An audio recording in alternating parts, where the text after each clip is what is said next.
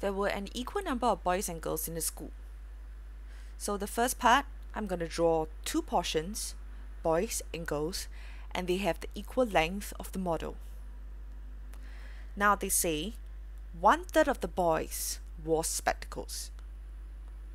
So I'm going to chop this into three parts because the denominator is the total number of units. So three units and one unit, which is the top numerator, wore spectacles.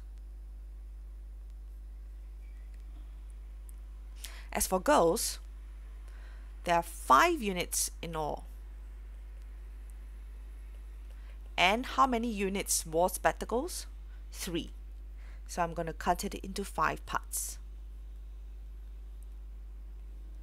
So five parts and three parts wore spectacles.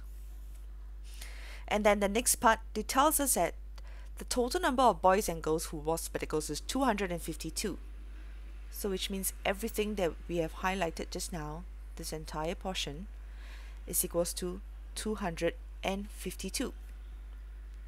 So the question is, they want to find out the total number of uh, boys and girls in the school. Before we do that, let me revise with you the concept of division. Before you can do any division, you have to ensure that every part of the model is in equal parts. So if I want these small little parts, I have to ensure that all of them are in the same portion, in fifths. But as you can see right now, the portion in the boys is larger than one portion in the girl. So I am not able to divide 252 by the total units. So looking at the total units 3 and 5, I can come up with a common multiple of 15. And for girls as well, 15 units. Okay, so what do I mean? I'm going to cut every portion of boys into 5 units. And I get 15 units. As for girls, I'm going to cut every portion into 3 units. So 3 times 5, I also get 15 units. Since they are of the same length, and they are 15 and 15 for both models, which means every portion it is of the same size. Now let's check out how many units of girls wear spectacles. 3, 6, 9. As for boys, 5 units. So now we can gladly add it up. 5 plus 9, which is equals to 14. 14 units wore spectacle and we can say that 14 units is equals to 252 and now we can do the division. One unit is equals to 252 divided by 14 you will get 18 the last step because there are 15 units of boys and also 15 units of girls that gives us 30 units which is the total number of total units of boys and girls. So to find the total number, I will take one unit, sorry, I will take one unit, which is 18, multiply by 30 units. And I'll get the answer of 540. So there are 540 boys and girls. Okay, now I'm going to show you a second method to solve this without drawing model.